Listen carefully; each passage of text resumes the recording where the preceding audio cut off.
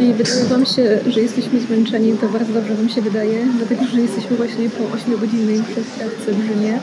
E, Poszliśmy trochę pozwiedzać miasto i jeżeli macie też przesiadkę w Rzymie taką dłuższą, to y, wydaje mi się, że 8 godzin to jest takie minimum, żeby opłacało się jechać do miasta, dlatego że lotnisko Fiumicino jest dosyć daleko od centrum. Godzinę jedzie się w jedną stronę autobusem, e, także godzinę w jedną, godzinę w drugą, plus dojście na przystanek autobusowy to zajmuje trochę czasu. Także wydaje mi się, że 8 godzin to jest takie naprawdę minimum, żeby opłacało się w ogóle jechać i żeby można było coś zobaczyć. My na przykład y, widzieliśmy, y, poszliśmy tylko zobaczyć Koloseum i Plac Hiszpański i to tak naprawdę wszystko. Jedliśmy sobie jeszcze pizzę i już musieliśmy wracać y, na lotnisko i zaraz y, czeka nas y, kolejny lot już bezpośrednio do Kairu. Jesteśmy już w Egipcie. Lądowaliśmy na lotnisku w Kairze. Jest druga 30 czasu lokalnego. E, W zimie w Egipcie jest godzinę później niż w Polsce. Także tutaj jest już druga 30, w Polsce pierwsza 30. Idziemy po bagaże. Idziemy na kontrolę również e, paszportów. I jedziemy zaraz do Port Saidu. Pamiętajcie, że y, tutaj przy wyjściu właśnie kupuje się wizę. Zaraz Wam pokażę, jak to miejsce wygląda. Wiza kosztuje 25 dolarów. Za mną są właśnie stanowiska banków, których kupuje się wizę za te 25 dolarów. Y, Tutaj w Kairze nie ma tego problemu, dlatego że tutaj nie ma aż tak wielu turystów, y, więc jest po prostu tylko stanowisko banku, gdzie można tę wizę kupić, ale na innych lotniskach, w tych miejscowościach turystycznych, Sharm czy Hurghada, y, są też inne stanowiska, które sprzedają wizy. I tam często właśnie próbują Wam wizę sprzedać za trochę więcej niż te 25 dolarów, dlatego Wam pokazuję. Y, W takim, y, w takim stanowisku banku właśnie kupuje się wizę 25 dolarów.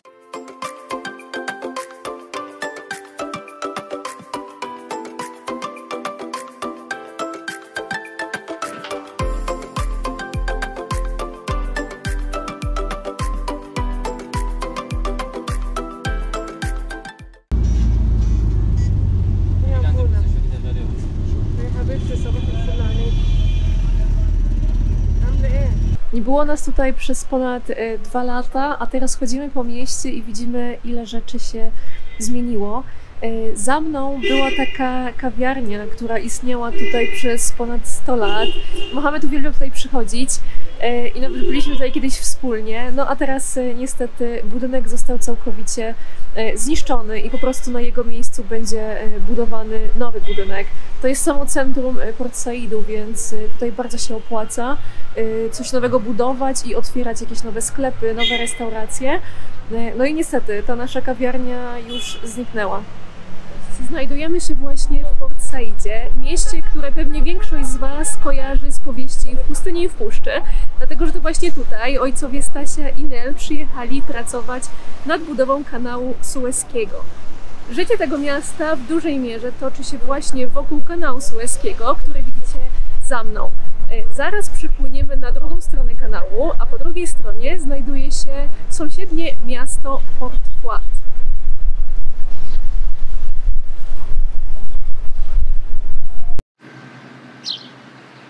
Stanęliśmy przypadkiem y, przy budynku Simon Arts. Y, Ten budynek to jest tak naprawdę najstarszy supermarket w całym Egipcie. On powstał w 1923 roku y, i został założony przez żydowskiego handlarza po to, żeby służył ludziom, którzy przepływają przez kanał Suezki, aby mogli sobie w pobliżu kanału zrobić zakupy. Niestety on już nie funkcjonuje. Budynek, jak widzicie, jest cały opuszczony, natomiast y, no, wtedy, kiedy powstał i przez kolejne lata wyglądał naprawdę przepięknie i robił duże wrażenie.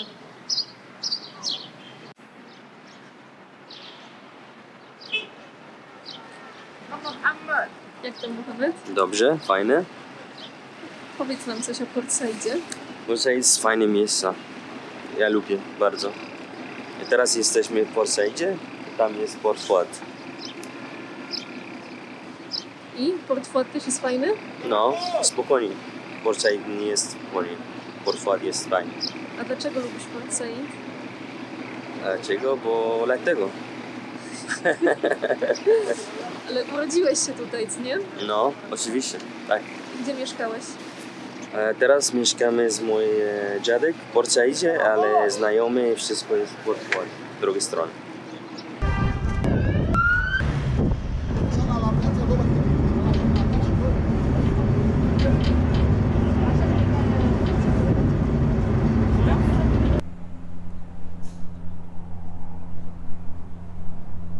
Są tutaj w Egipcie takie kluby, do których e, można wejść tylko jeżeli posiada się bilet lub jeżeli przynależy się do odpowiedniej e, grupy osób.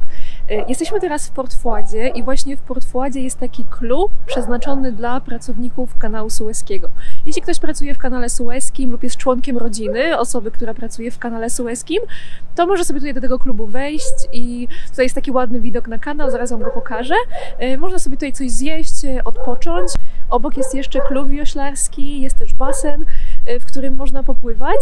E, I takie kluby są zamknięte. Albo kupuje się bilet, albo trzeba po prostu e, być pracownikiem kanału sueskiego, żeby tutaj wejść.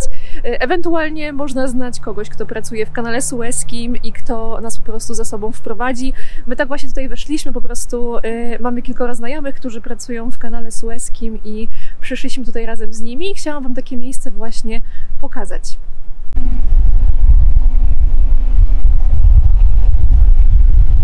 Tutaj sobie przepływają te promy właśnie między Port Saidem a Port Fuadem, Y, a y, ten budynek po drugiej stronie właśnie, po stronie Port Saidu, y, to jest budynek władz kanału sueskiego. Dobra, to jest naprawdę fajne miejsce, bo jest ładny widok i ono faktycznie nie jest dostępne tutaj dla wszystkich. Dlatego chciałam Wam pokazać, jak z tej strony wygląda Port Said. Wcześniej widzieliście, jak wygląda Port Fuad z drugiego brzegu e, kanału. E, I to jest właśnie ciekawe, dlatego że e, geograficznie kanał sueski oddziela dwa kontynenty Azję i Afrykę. I właściwie Egipt jest jedynym krajem, który położony jest jednocześnie na tych dwóch kontynentach, czyli w Azji i w Afryce.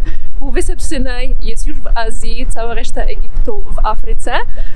I właśnie Port Said znajduje się Afryce, natomiast Port Fuad już Azji. Taka ciekawostka, więc podróżując sobie między e, Port Saidem a Port Fuadem, tym promem, e, tak naprawdę geograficznie przemieszczamy się pomiędzy Afryką a Azją. E, My będąc tutaj robimy to właściwie kilka razy dziennie, co jest dosyć zabawne moim zdaniem i zawsze mnie to bardzo ciekawiło. To zajmuje dosłownie kilka minut, ten przejazd z promem, ale tak naprawdę przesuwamy się od Afryki do Azji. No a za mną już e, widzicie e, port, właśnie należący też do kanału sueskiego. Tam są statki, które na przykład e, wypływają do kanału i oczyszczają dno kanału z piasku, po to, żeby inne statki po prostu mogły swobodnie przepływać. Jeżeli zastanawiacie się, jak wygląda tutaj praca w kanale sueskim, to na przykład można pracować na takim statku, który oczyszcza dno kanału z piachu. Taka ciekawostka. I, I jeżeli zastanawiacie się, jaka tutaj jest pogoda, y, no to moi drodzy, jest styczeń i jest tutaj zima, jest zimno. Może nie tak jak w Polsce, bo jeżeli faktycznie spojrzymy na temperatury, to w Polsce jest zimniej. E, Tutaj jest tak mniej więcej e, 10-17 stopni, w zależności od pory dnia. E, Rano i wieczorami jest e, naprawdę zimno. Ja mam na sobie kurtkę, e, którą noszę w Polsce, dopóki temperatury nie spadną poniżej zera i nie powiem, żeby było mi tutaj e, gorąco. Jest naprawdę chłodno. Wydaje nam się, że 17 stopni to jest dużo, ale tak naprawdę te 17 stopni jest tutaj może przez dwie godziny w ciągu dnia i to jak się wyjdzie na słońce. A tak poza tym to y, jest naprawdę chłodno. Przyjeżdżacie do Egiptu, szczególnie na północ Egiptu, właśnie y, Kair, Aleksandria, Port Said i okolice, to pamiętajcie o tym, żeby y, zabrać coś ciepłego i zabrać po prostu ciepłą kurtkę i kilka par y, długich spodni, nawet bluzki z długim rękawem. Nie pożałujecie tego. Pokazujemy Wam Port Said i Port Fuad, dlatego że to są miejsca, w których wychował się Mohamed. On urodził się w Port Saidzie i tam mieszkał przez kilka lat. a później przeprowadził się do Port Fuadu i tutaj mieszkał około e, 20 lat.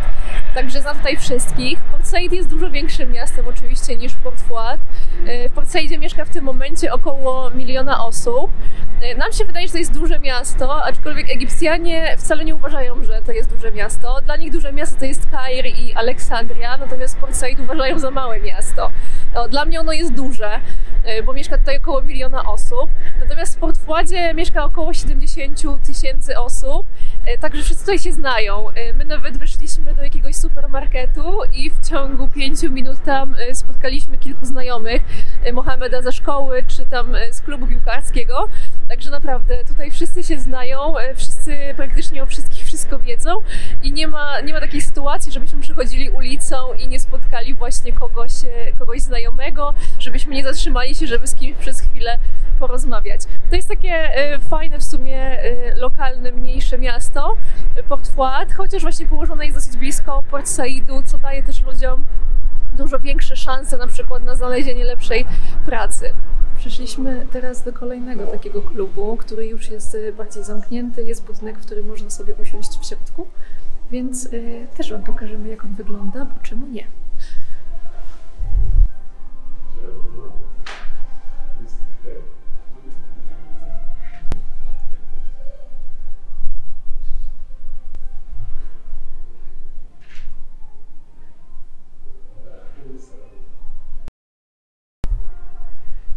Bardzo fajnie to wszystko wygląda, y, wręcz luksusowo.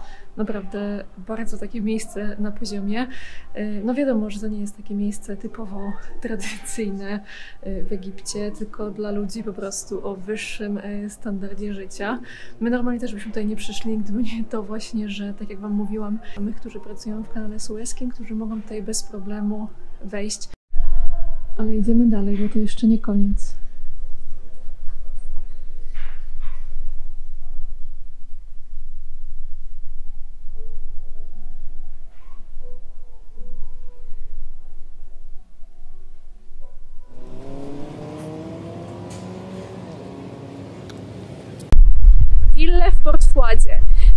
Budynki dosyć niezwykłe na tle całego Egiptu i wszystkich miast w tym kraju. Ludzie zaczęli mieszkać w Port dopiero w 1920 roku i pierwszymi osobami, które tutaj zamieszkały, byli zagraniczni pracownicy kanału sueskiego. To było około 800 osób i władze kanału zbudowały właśnie dla nich te wille. One zostały zbudowane w stylu francuskim i do tej pory należą właśnie do władz kanału. Niestety teraz bardzo wiele z tych willi jest niszczonych i burzonych po to, żeby powstały wielkie apartamentowce.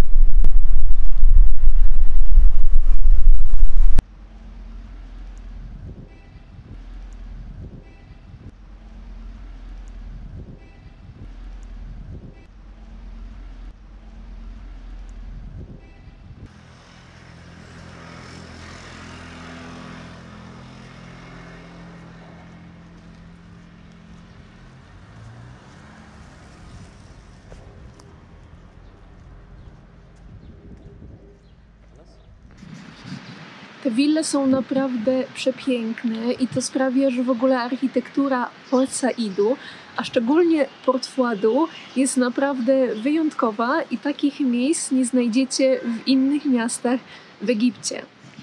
Jest nam w ogóle ogromnie przykro, że te budynki też są wyburzane i te wille są wyburzane, bo kilka lat temu było ich dużo więcej.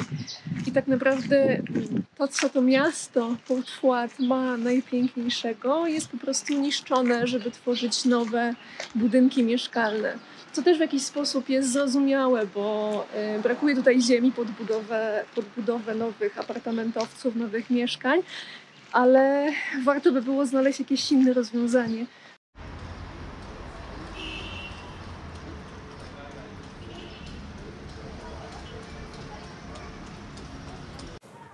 W ramach pokazywania Wam Port Saidu chciałam Wam też pokazać pewne miejsce, do którego większość z Was pewnie nigdy by nie dotarła. To miejsce zostało stworzone przez naszego przyjaciela Muhammeda, zresztą za chwilę go sami poznacie, i nazywa się Ganna Art. Ganna Art powstało w ramach stowarzyszenia, które zajmuje się pomocą osobom z niepełnosprawnością. To jest pewnie też odpowiedź na Wasze częste pytania. Co w Egipcie dzieje się z osobami niepełnosprawnymi? Jak radzą sobie osoby z niepełnosprawnością? Te osoby, które są już dorosłe i którym trudno jest znaleźć zatrudnienie, e, mają w ramach tego stowarzyszenia bardzo dużo różnych e, ciekawych zajęć. E, tutaj na piętrze tego budynku znajduje się siłownia, w której tej osoby trenują i biorą udział w igrzyskach, w specjalnych igrzyskach olimpijskich dla osób z niepełnosprawnością. I właśnie osoby z Egiptu, właśnie stąd, z Port Saidu, również na te igrzyska jeżdżą. E, na dole są zdjęcia, niestety nie mogę Wam pokazać, ponieważ tam już nie możemy nagrywać, ale na dole widziałam zdjęcia tych osób z medalami, jakie przywieźli e, z ostatniego tur e, turnieju. Poza tym te osoby na przykład tutaj w Ganna Art mają zajęcia plastyczne, uczą się malować, uczą się szyć, uczą się różnego rodzaju rękodzieła. Poza tym w tym miejscu też prowadzone są zajęcia dla wszystkich innych dzieci, które chcą brać w nim udział, właśnie z malowania, z szycia, z muzyki i tego typu rzeczy. Wszystkie dekoracje tutaj w centrum właśnie zrobił nasz przyjaciel. Za mną na przykład widzicie logo lokalnego klubu piłkarskiego Al-Masri właśnie z Port Saidu i to jest jedna z ozdób tutaj właśnie na ścianach tego centrum. Mohamed, kiedy powstała Ganna Art? احنا تقريبا بادئين بادئين من عشر سنين كده كان شهر أربعة يوم 12 أربعة بدأنا جنة Powiedz, czym się tutaj zajmujecie i jakie prowadzicie zajęcia? إحنا هنا مكان تعليم فن بنشتغل مع الولاد رسم كل انواع الرسم تأسيس بنبدأ معهم تأسيس من الأول ونبدأ معهم موسيقى تعليم من الأول وأشغال فنية بأشكال مختلفة يعني بحيث إن يكون الطفل عنده نوع من الإبداع بيتعلم نوع من الإبداع والفن في أول حياته يعني Prowadzicie też zajęcia dla osób z niepełnosprawnością.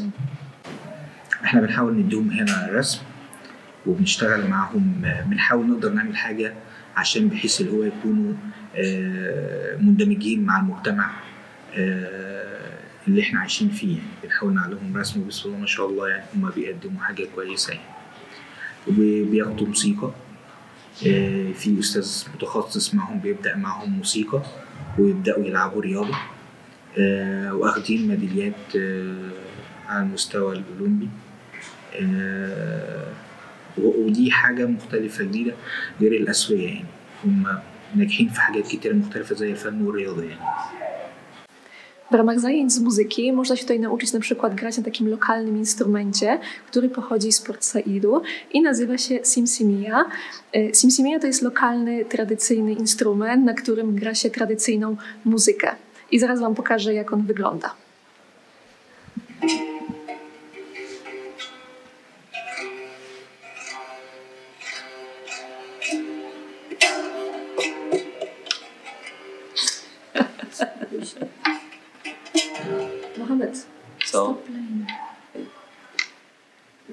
Tak właśnie wygląda simsimia. Y, Instrument sam w sobie jest drewniany i ma 8 strun. Korzystając z tego, że jesteśmy w Port Saidzie i Port Fuadzie, y, to przyszliśmy jeszcze na koncert mojego ulubionego egipskiego zespołu, który właśnie pochodzi stąd. Nazywa się Tambura i gra lokalną, y, tradycyjną muzykę właśnie z tego regionu. Ten zespół jest o tyle popularny, że podróżuje po całym świecie, żeby grać lokalną muzykę. I normalnie musielibyśmy zapłacić za bilet, żeby ich posłuchać.